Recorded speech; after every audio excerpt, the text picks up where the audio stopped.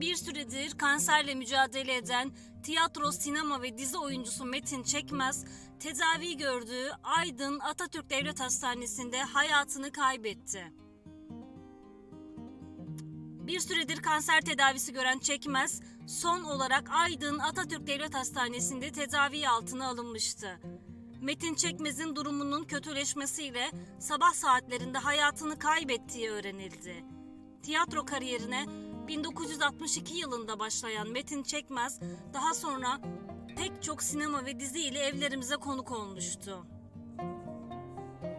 Metin Çekmez en son 2014 yılında Star TV'de yayınlanan ve başrollerinde Özcan Deniz, Hatice Şendil, Gürbay İleri ve Begüm Kütü'nün oynadığı Kaderimin Yazıldığı Gün dizisinde Ziya karakterini canlandırmıştı.